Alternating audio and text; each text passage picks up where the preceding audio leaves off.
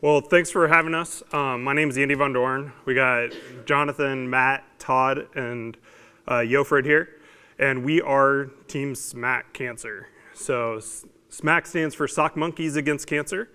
Uh, it's a foundation um, founded by Jen Windrum, who was our client for this project, and uh, she really went through a personal battle um, recently with her mother. Uh, this is Leslie, her mom, and she was diagnosed with stage four lung cancer about six years ago. Leslie lived in Phoenix. Jen is here in Omaha. So she, there were 2,000 miles in between, and they were trying to. She was trying to come up with something that could always be by her mom's side, even though she she could not physically be there. So came up with the idea of giving her a sock monkey, and it really took off. So she came up with sock monkeys against cancer. And uh, right now, there are two sock monkeys.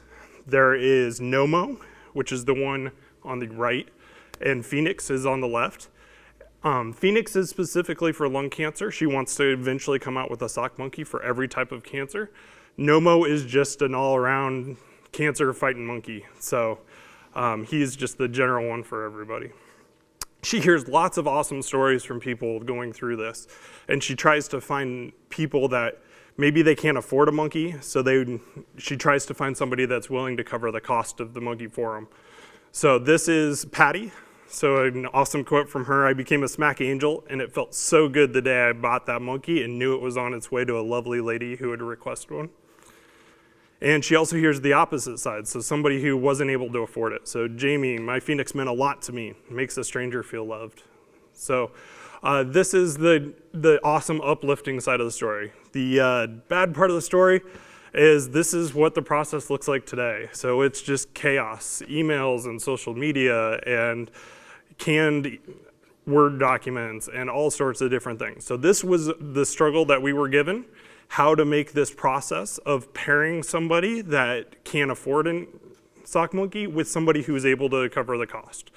So to talk about some of the goals and what we went through with that, I'm gonna turn it over to John here. So, as Andy said, our primary goal with the project was to match um, someone who's willing to give a monkey with someone who needs a monkey, um, decreasing the manual tasks in between. Right. The uh, so Jen would the process before SMAC Angel program. Jen would go out to social media, find someone who was asking for a monkey, and then she'd go find someone uh, that would wanted to supply the monkey.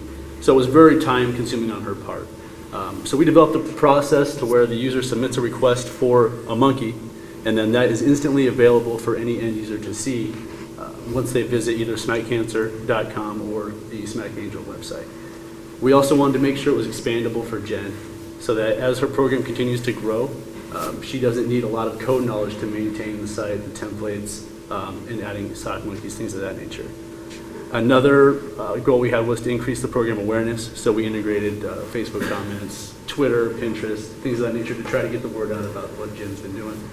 And finally, our last challenge was to integrate it into her existing site, smaccancer.com. Um, since it's a separate process, we have a, designed a plugin that goes onto her main site um, that shows the requests that have been in the database or in the system previously.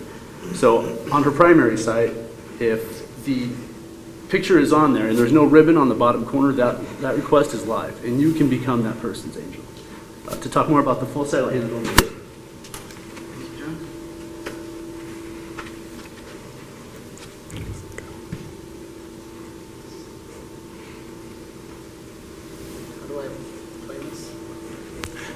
Yeah.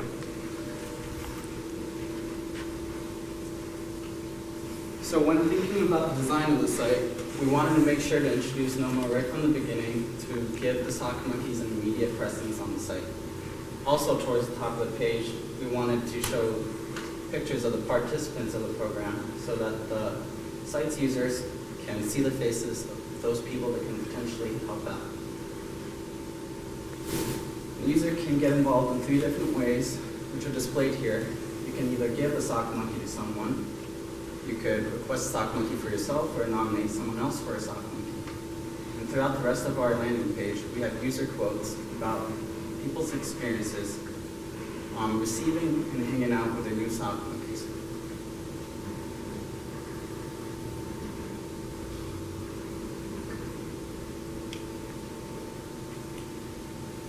And on our footer, we have social media icons because social media connectivity is also an important part of the SMAC control program. And here's Todd for use of flow. Thank you. Okay, there are two aspects to the website. The first aspect is to request a monkey.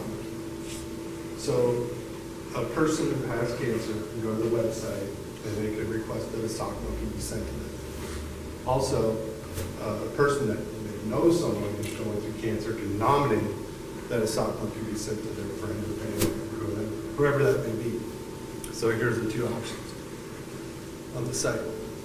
And The person that does make this request fills out a very simple form where they choose the sock monkey they want. And also they provide some uh, basic information about the person receiving it. And that's it. That's a pretty simple request. Now, on the flip side, there's giving, the, I guess the second aspect of the site is giving that sock monkey to someone. As we like to call it, become the Yeah, one minute. becoming a sock angel. So we'd like to encourage everyone here, uh, after the site gets released, is to uh, become a sock uh, monkey angel for someone. All you have to do is like, give, find someone you want to be an angel for, and then become an angel for them. And that's it. That's all that there is to become an angel. All right. Um, so, uh, this part, I guess, doesn't necessarily tie into how you guys can interact with it, but we're Omaha Code School. We really wanted to brag about how, in, in addition being user-friendly, it's admin-friendly. We're kind of short on time, so I'll kind of skip through this, but just wanted to show real quick, we do have admin actions where Jen can keep track of all of her stuff. She has email templates that she can modify, and then she also can uh, add sock monkeys as the program progresses. So what's next? We're looking forward to launching this really soon as part of smaccancer.com. Okay, so um, there's a couple different people you might want to contact. Here's some contact information for Jen um, if you need to contact Jen directly about anything um, pertaining to the SMAC Cancer Program, if you have any follow-ups for her. And then here is the dev team. So there were Fair, uh, Britt and Lachlan weren't able to be here today, but they did help us out a bunch on the project. Um, with that, we turn it over to questions. Hello, thank you for having us. We are Team Omahu, and we were tasked with recreating the Omahu website. And in order to talk about this, we're going to talk about something that most everyone knows. Omaha is very unique. We have so many talented people in the creative and tech industry. And Omaha itself has been one of the most up and coming cities for, you know, forever. We know this. And because of this, it's very important to network just like anywhere else. And part of networking is creating meaningful relationships. And it's always a task to figure out how to do this effectively. And it always usually starts with the person's first name. so you're at a conference, okay? And you get to talking to someone that you recognize their face. You know that they're a who's who in Omaha, but you just you just don't remember their name. And this it's just not happening. So this is a missed opportunity for some effective networking. So in comes Omahu. So before such conference, what you can do is go through and browse through everyone that has signed up on this website, which just happens to be the who's who of Omaha. And in order to effectively uh, categorize your networking skills, you can actually browse through them with categories. So if you have a specific goal for your company or your life, you can figure this out on this website. So in order to talk about what it means to be a member and everything, we're going to go to Jay. Thanks, Caitlin.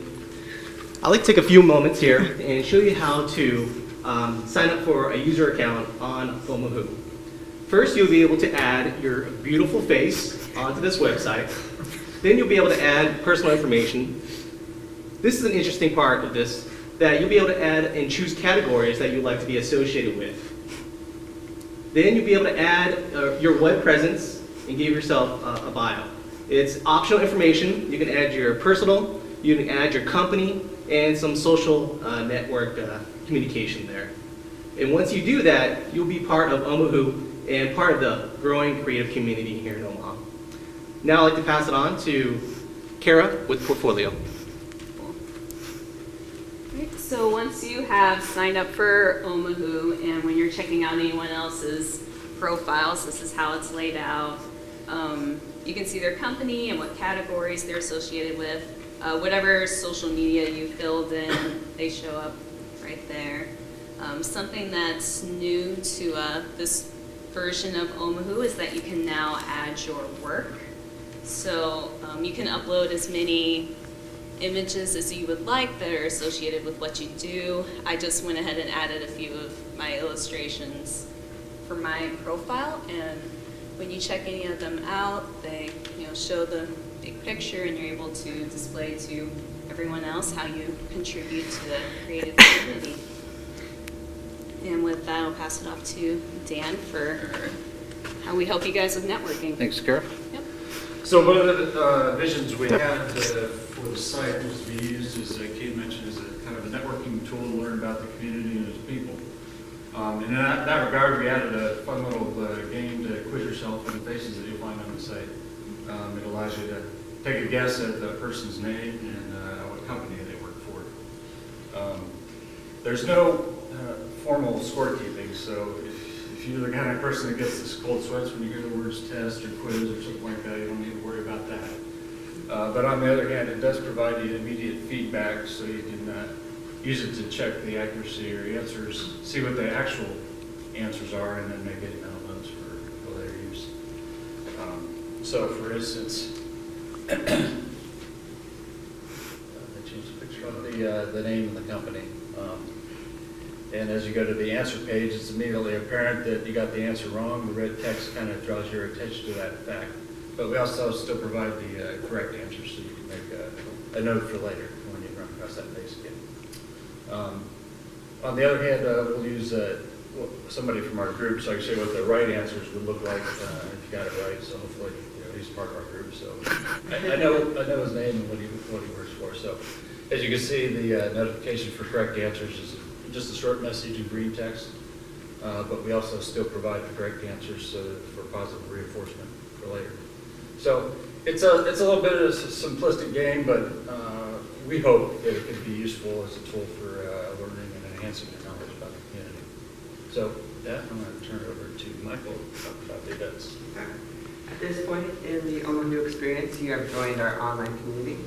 You've searched around the site and found some like-minded people you'd like to meet, and you've learned their names through our name game. So where do you meet them? Meet them at events. There are some calendars around the community that uh, serve this goal, but we wanted to set ourselves out from the pack a little bit and offer a couple extra features that we think aren't present anywhere else. Um, so just going through the interaction, as you come to the events page, I need to start this video.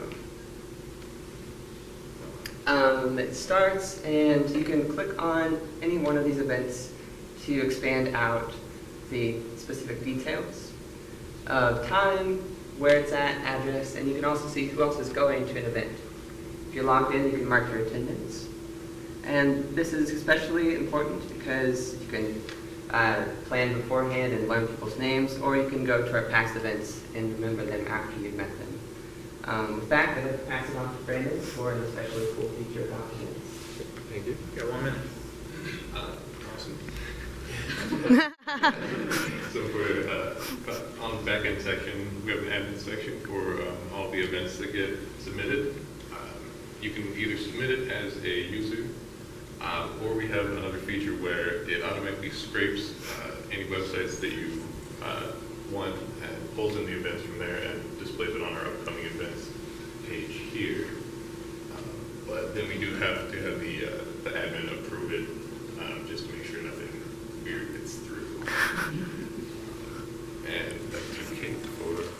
Thank you, Brandon. so, in conclusion, Omahu offers several networking devices for the Omaha area. It's able to be forked on GitHub, so other communities can use it. And the future of Omaha, or Omahu, is actually the future of Omaha. So, as Omaha continues to grow, so will Omahu. And thank you so much for having us. This is available right now, so you should totally sign up and be a part of the community. Thanks.